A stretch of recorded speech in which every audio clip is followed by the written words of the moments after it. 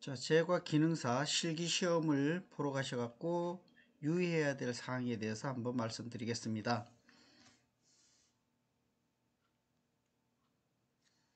아, 첫 번째 쪼꼬모핀에 대해서 알아보겠습니다. 여기서 보면요. 재료 계량 시간은 11분으로 나와 있고요. 11분 동안 이걸 재료 계량을 해야겠습니다.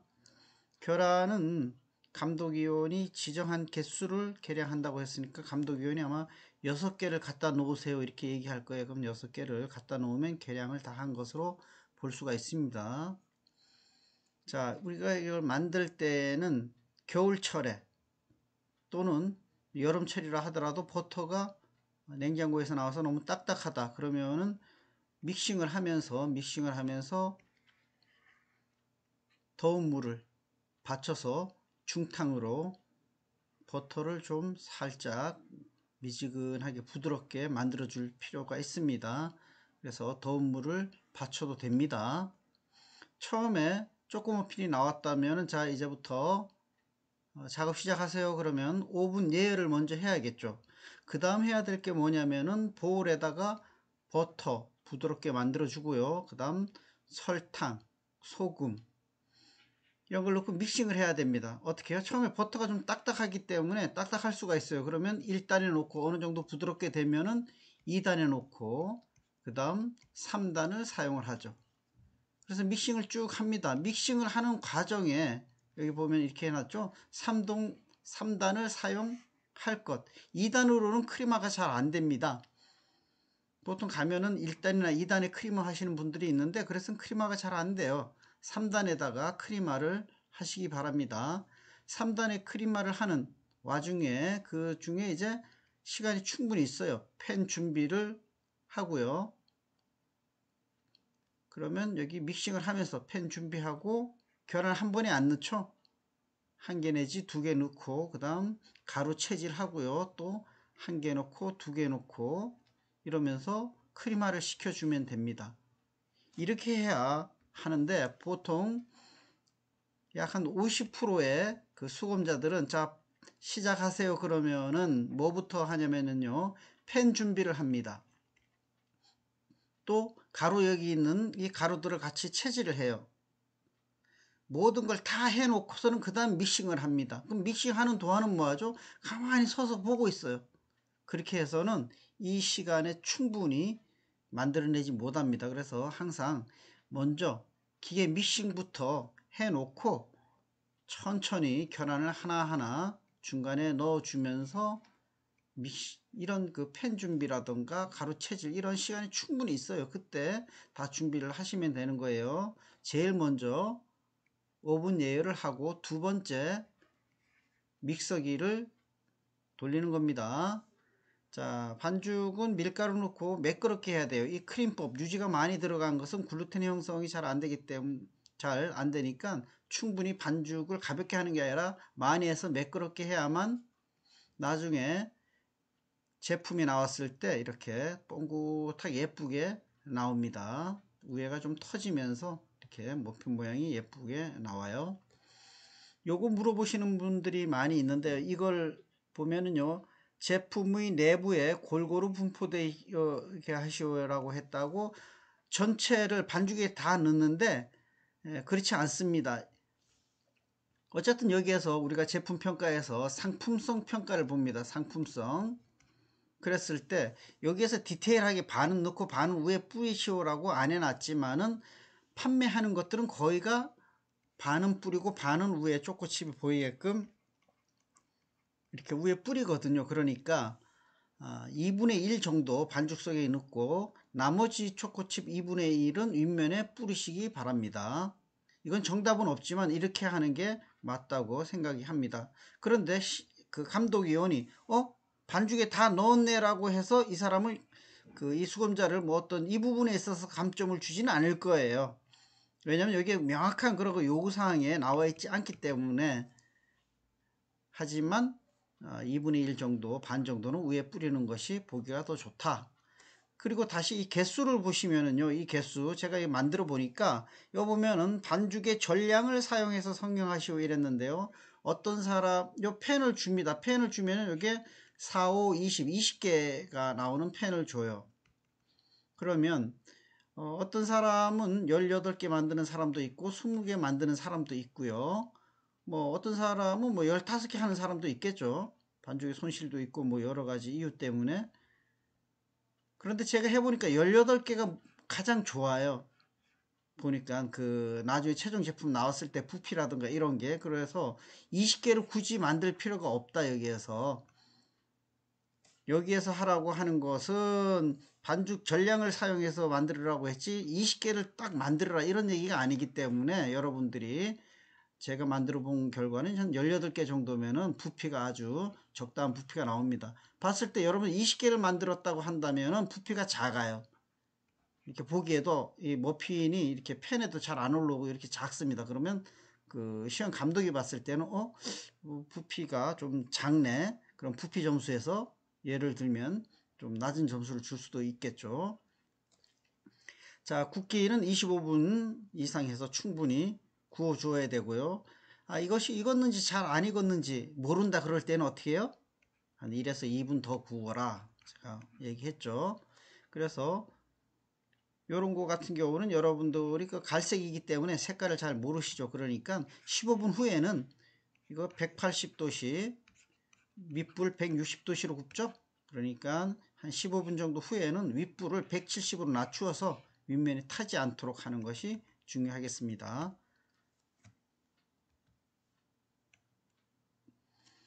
자, 버터 스폰지 케이크 변리법이 나왔습니다. 그러면은 이건 어떻게 해요?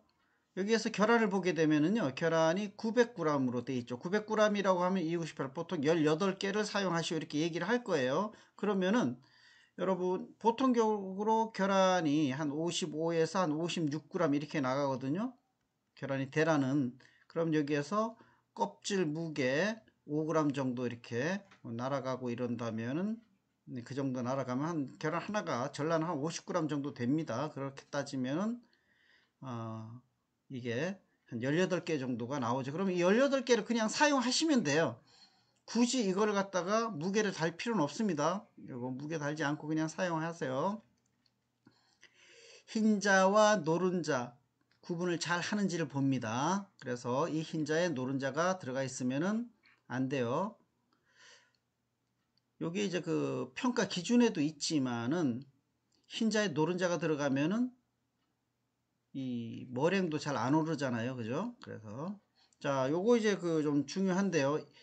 여기 이 변리법에서는 다른 거 아니고요. 이 그 버터 스펀지 케이크 변리법에 있어서만큼은 이 중탕을 해줘야 돼요. 왜 그러냐면 여기에 있는 그 수분으로 이 설탕을 다 녹이기가 굉장히 힘들어요. 여기에는 다른 그런 그 물이라든가 우유가 안 들어가서 여기에 있는 수분만으로 이 설탕을 녹여야 되는데 이 설탕을 안 녹이게 되면 나중에 제품이 나왔을 때 윗면에 하얀 반점을 남기게 됩니다. 그래서 녹여주는 게 좋아요. 100%. 어, 그렇기 때문에 좀 중탕으로 해서 겨울이든 여름이든 중탕으로 해서 완전히 녹여줘야 되는데 이렇게 물에다 넣고 중탕으로 한 후에 설탕이 녹을 때까지 계속 저어줘야 되니까 요즘 힘들어요. 그러나 할 수 없습니다, 여러분. 요거를 해줘야 되는 부분이고요. 버터는 계속 만, 녹이고 나서 중탕한 그 물에다가 버터는 계속 올려서 버터 온도가 60도씨가 되게 하는 게 좋아요. 나중에 섞을 때 버터 온도가 높아야 거품이 잘 가라앉지 않습니다. 자, 그럼 이 변리법 같은 경우요. 변리법, 변리법에 있어서는 펜 준비라던가 가루 체질 이런 것들이 모든 것이 다 끝난 다음에 머랭을 올려야 됩니다. 머랭은 금방 오르니까요. 그래서 머랭은 3단으로 믹싱을 해요. 여러분들 3단으로 믹싱하고 거의 중속으로 한 1분 정도 거품을 안정화시킨 다음에 바로 사용하게 되는데 이게 중요하죠. 머랭을 90%까지만 올린다. 대부분 보면은 머랭을 다 여러분이 이 머랭이 90% 어느 정도인지 몰라서 그런지 몰라도 거의 100%를 올려버리는데 분리가 됩니다. 그렇게 하지 않도록 주의를 좀 해주시고요. 자, 만듭니다. 그러면 변리법에 있어서는 최초에 머랭 3분의 1이 들어가죠. 그 다음에 밀가루 썼고요. 버터 썼죠. 여기 있는 거. 버터 온도는 이럴 때 60도씨가 돼야 되고요. 그리고 변리법에서 아주 중요한 거죠. 항상 나머지 모랭이라고 있어요. 여기에서 3분의 1 섞었죠? 그럼 나머지 모랭이 있잖아요. 이거를 갖다가 넣고 섞는 거. 이게 바로 변리법인 거죠. 그럴 때에 이 버터를 여러분들이 반죽을 다그 여기에서 반죽을 하고 나서 여기에서 버터 섞을 때 그 이중혼합이라고 해서 여기에서 반죽한 노른자 반죽이죠. 그걸 일부를 취해서 녹인 버터를 넣고 여기에서 어느 정도 섞어준 다음 다시 여기에다 투입을 해서 섞은 다음 나머지 모랭을 섞죠. 그렇게 하셔도 되고 아니면 그냥 버터를 넣어도 됩니다. 안 해도 된다는 거죠. 그것을 꼭 어디 그렇게 하라고 여기에 나와 있지 않기 때문에 배우신 대로 하시면 됩니다. 반죽이 끝나고 비중 측정을 하고 있으면 반드시 해야 됩니다. 여러분 비중 측정 여러분이 하시고요. 비중 측정하고 있으면은 감독 선생님이 오셔서 반죽 온도를 아마 체크를 할 겁니다. 자, 그리고서는 에, 여기 중량이죠. 비중이 아니라 중량인데요. 그 요거를 4로 나누면 한 요 정도 됩니다. 여러분들이 물어보시는데 어 얼만큼 게, 그 팬닝을 해요 물어보죠. 그러면 요거를 그 다 더해 가지고 나누기 4 하면은 요게 나오죠. 그러면은 손실을 좀 빼고 한 570g 정도 저울에 올려서 저울에 올려 가지고 팬을 반죽을 담으면 되겠습니다. 아니면 눈대중으로 그냥 4개 정도 그냥 이렇게 저울에 안 달고 하셔도 되고요. 근데 여러분 꼭 이거 물어보셔갖고 제가 말씀드리는 겁니다. 그럴 것 같으면은 570g씩 분할을 하고 남는 반죽 있으면 좀 더 나눠주고 모자르면 조금 더 걷어내고 이렇게 해서 맞춰주면 되겠죠. 굽기는 25분 이상 충분히 구워주는데 구울 때 어, 이렇게 있으면은 스펀지 4개가 나오잖아요. 이거 제품의 가장자리부터 이렇게 살짝 손으로 눌러보세요. 여러분 이 가운데부터 눌러버리면 안 익었는데 푹 꺼져버리잖아요. 그래서 가운데부터 살짝 눌러서 보면은 익었는지 안 익었는지 그 탄력을 느낄 수가 있습니다. 그러면 서서히 안쪽도 한번 눌러보고 해서 익은 걸로 확인하시고요. 아니면 여러분이 잘 하시는 이쑤시개로 확인을 해도 되고요. 구워져 나오면은 한번 바닥에 충격을 주어서 주저앉지 않도록 이렇게 하시면 되겠습니다. 아, 그 다음에 이제 그 젤리 롤 케이크 나왔네요. 젤리 롤 케이크. 자, 젤리 롤 케이크의 비중 0.45 플러스 마이너스 0.05죠. 그래서 요 범위 내에 비중이 나오면 되고요. 자, 젤리 롤 케이크 같은 경우 요거는 지금 공리법이죠.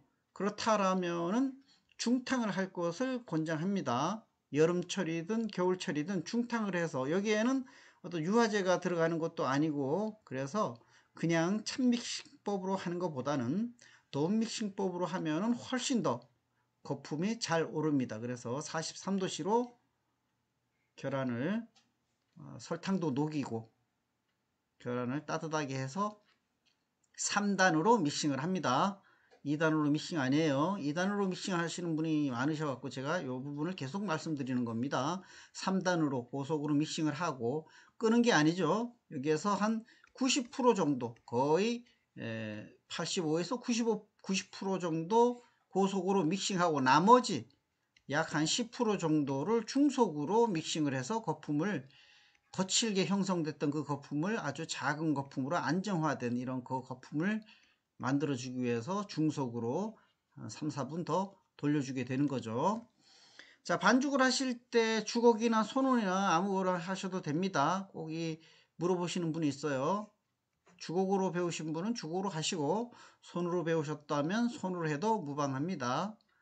카라멜 색소로 무늬를 반드시 내야 돼요. 무늬를 안 내시는 분도 있더라고요. 그러면은 여기 보면은 무늬를 내지 않으면은 껍질 평가에서 0점 줍니다. 그럼 껍질 평가에서 0점을 받으면 거의 합격을 못해요. 거의.